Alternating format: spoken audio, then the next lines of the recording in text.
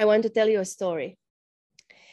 Um, today, I uh, went and I helped one of my friends, uh, my my one of my best friends. She her her grandfather passed away, mm.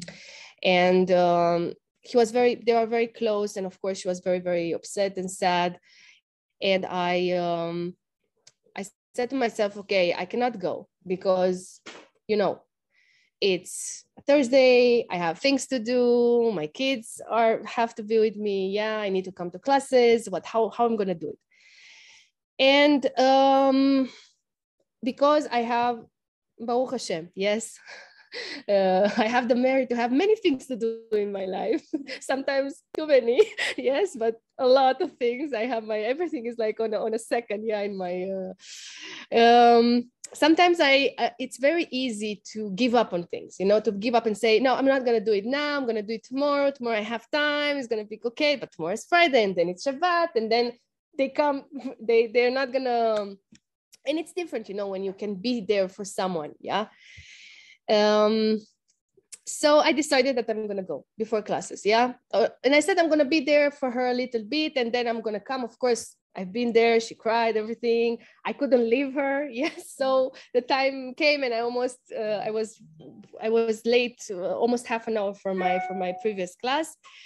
Um, but it's a mitzvah. There are some mitzvot, okay, that we don't have we don't have like um um for them. We don't know what we get not that we do the mitzvah because we get something instead. Yeah we don't do that. But but usually in general it says if you are respecting your father and your mother your life is going to be longer okay? There are things in the torah that are written that's for a specific mitzvah.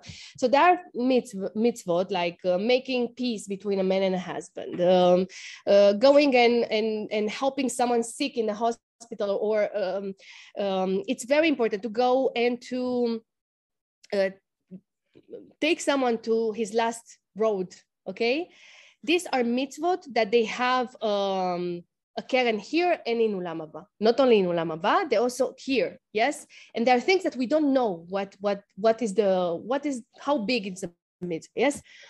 So it's very important when something like this comes to to make an effort and do it. And the reason why is that when you go there, not only that you show the respect for the person that passed away or whatever, but you also uh, take from the pain. You understand? You are helping the person. That that's why it's very important. Also, after if you cannot go to the levaya, at least to go to visit in the seven days. This is the time um, to to to to be there for that person, to take a little bit from that person' pain okay the, the same when someone is sick.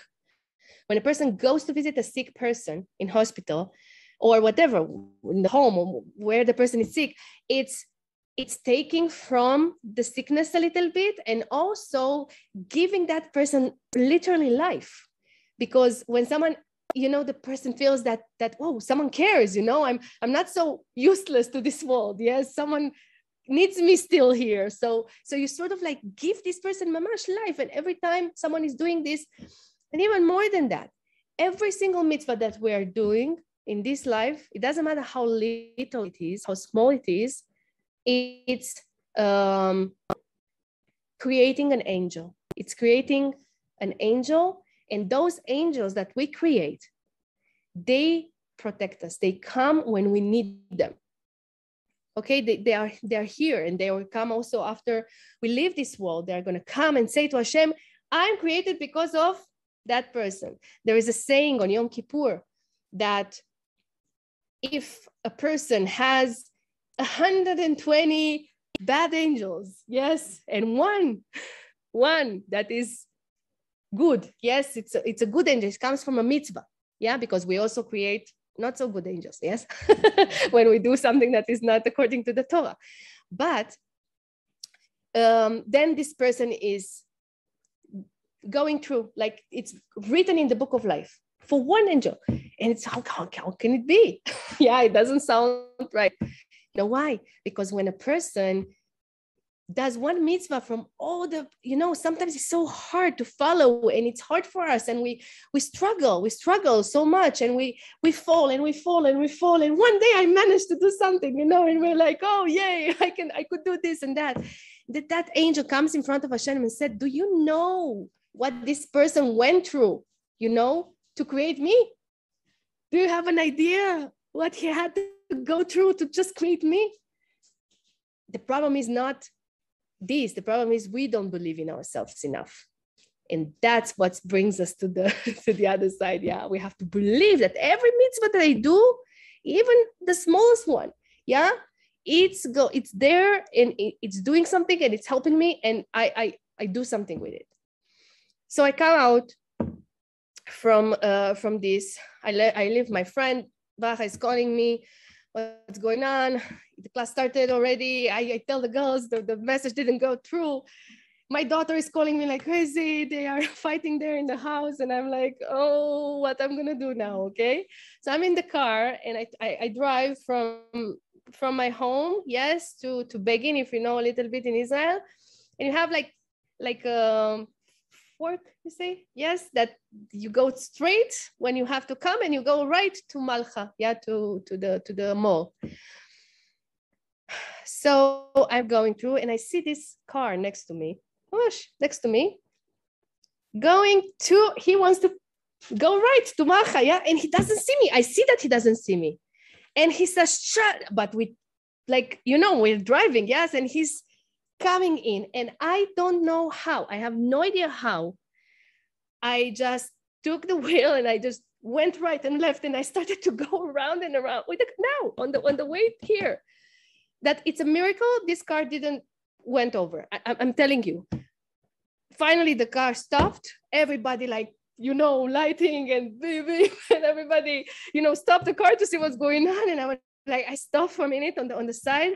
I started to cry. Like I was like, in shock. My, my daughter was still with me on the phone. Yes. And then I see the guy that did this, you know, coming out from the car, like running. I'm so sorry. I didn't saw you. It was a black point. I didn't saw you. And, and I, I'm, it's not your fault. It's my fault.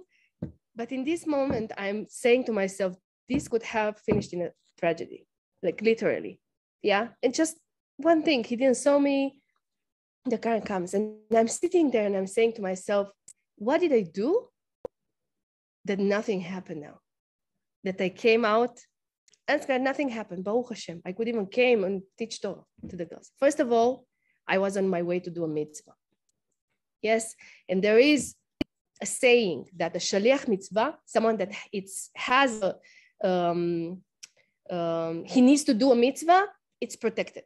Yes, that's why uh, whoever lives in Israel, yes, whoever stays here and has a house here and lives in Israel, is not really allowed to go out of Israel. Yeah, according to the halacha. You only are allowed to go out of Israel for specific reasons. If you need parnasa, for health reasons, to visit family or parents, um, I don't know. Sometimes people want to travel, yeah, just to have fun a little bit outside, to, to travel the world. And halacha says, no, you can't. but of course, people are doing this. So there is a custom in Israel that before someone is um, is leaving the country, you can give someone money. Like I'm, I'm. Let's say you are living yes, and I'm giving you money a little bit, ten shekels, twenty shekels, and I'm saying to you, when you come back from your trip, put this in the tzedakah in the in the airport.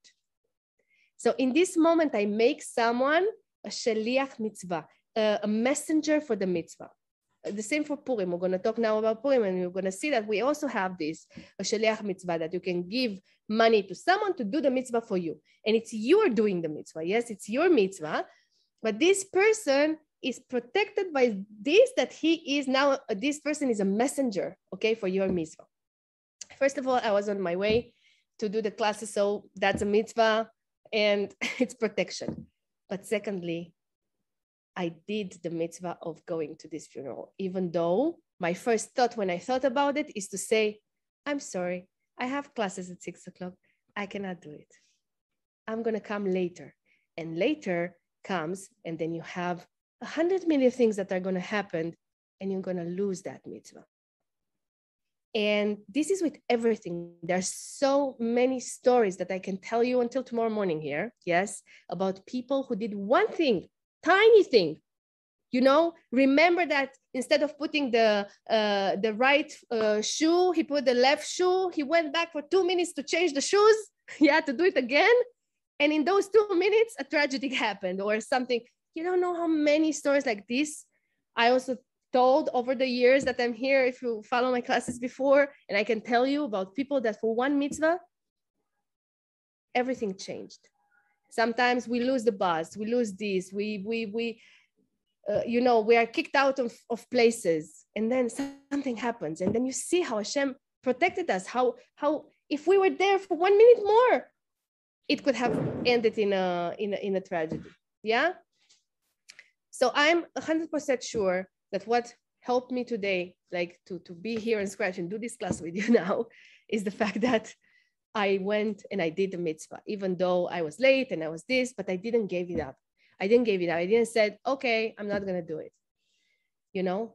And just remember that every mitzvah that we do, it's so important. And it has a, oh, if we would just know what we would do with them, really. And that's so important, you know, to talk about these things because when we talk about these things, the mitzvot receive a, a different way of looking yeah they receive a purpose. And when when when you have a purpose then you you do it with pleasure because you know that wow i'm i'm literally creating worlds and angels right now. Yes that's wow that's mind-blowing. Think about it. Now we have that merit to do that. It's incredible yeah.